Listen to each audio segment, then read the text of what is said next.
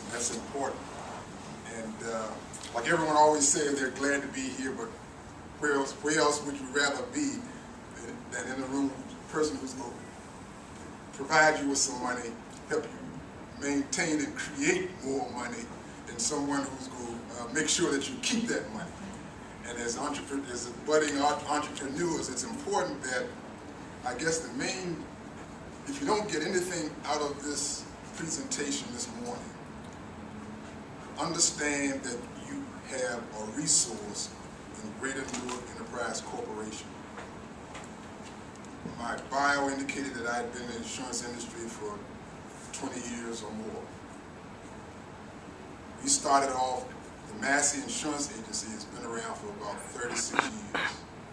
We started off in the same place that you started. We did not have, and if you go back calendar-wise, did not have the resources that you have. Because over the years, the economy, as well as other entities, had developed to help entrepreneurs. Women, small businesses were an idea, and they were created by individuals like yourselves. You said, okay, what, do, what is it I want to do?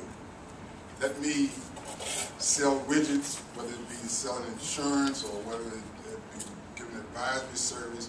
The SBA has always been there. They've been there quite a while. But there was a, a, almost a function of the government where the resources that the Greater Newark Enterprise, Newark Enterprise Corporation is, is, is bringing them to you now, where before you had to seek these out. And as Mike alluded to before, as a business person, you do what you do best. And that's usually what you wake up in the morning thinking about and what you go to sleep at night thinking about. And what we want to do is help you think of preserving your business, getting funding for your business, and create whatever it is you create for your business better and more efficiently.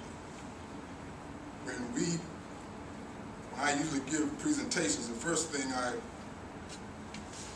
try to tie it down to is saying, okay, what did I just say?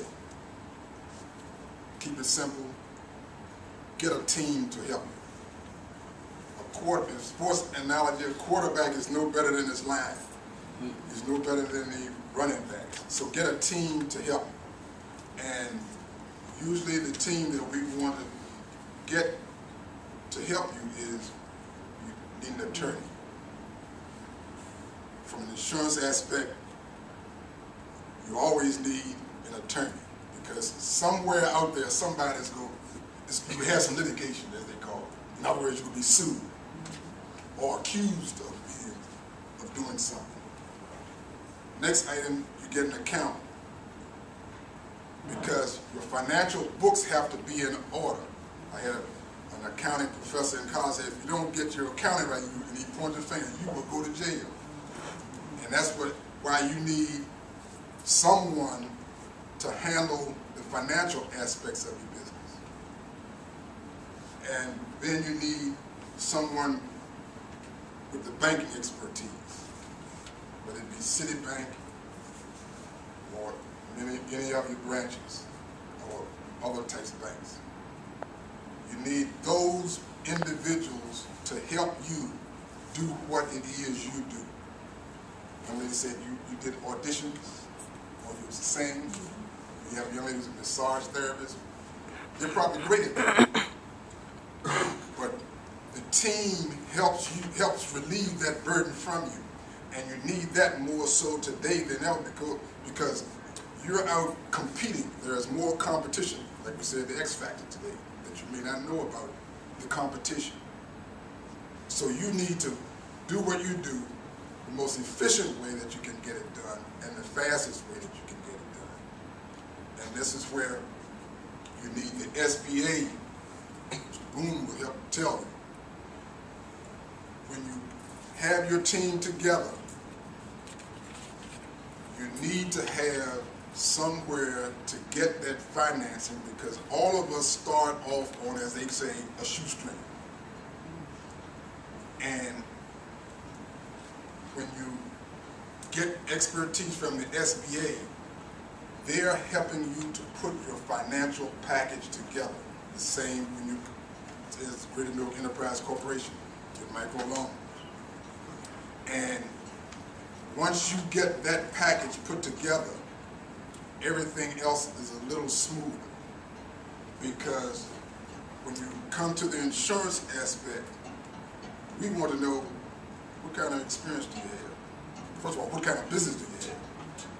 What type of experience do you have? Let us see your financial uh, plan. What do you anticipate doing five years from now, three years from now? What type of history do you have? Because I doubt if any of you would want to lend someone money or even buy something from someone without knowing who they are and if they'll be here tomorrow, six months from now, or a year from now.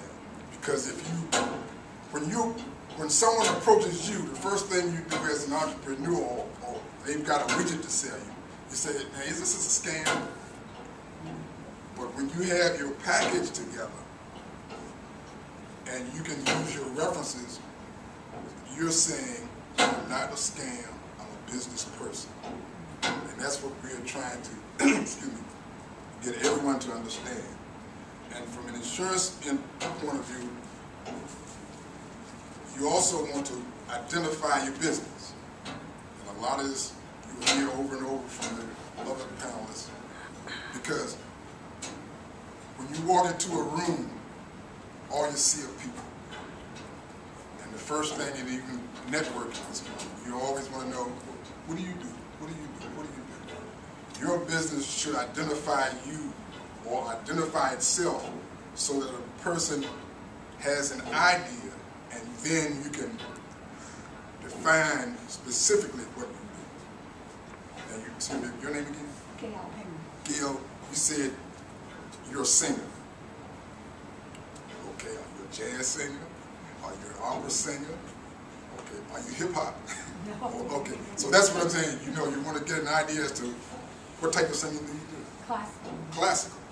See, so that's what you want your business to do, is to identify you, so that, just like we we're saying with the X Factor, I was trying to determine how did all these people find out about it, and it's in our backyard, and I wasn't hooked into that network, but it's the, and more people knew about it than I imagine some of us do, and you want to say, okay, X Factor to me doesn't mean a thing. But if I say X Factor to, somebody else, they'll tell me the, all the details as, as to what it's about. And perhaps X Factor is hooked in or explains itself to that group of people. So when you have your business, you want your business to explain itself. Now, once you have, once you start your business, or before you start it, we always tell our clients or prospects, when you have an idea, come to, let's put it this way, when you have an idea, talk to your team, run it through your team, because oftentimes we have uh, business people who get contracts. And they honing in on getting that contract. And all of a sudden they say we won a contract. Because hopefully they've gone and gotten all their business plans together. But they forgot one item. How much is the insurance going to cost for that contract? No one will do business with you without you having some security, I use the word security, that they can come back to. If I lend you five dollars, I want to know when I'm gonna get my five dollars back. if you tell me, well, I can't pay you back for six months, then I'll lend you two dollars. So I'm limiting my risk. That's what people, individuals want to do.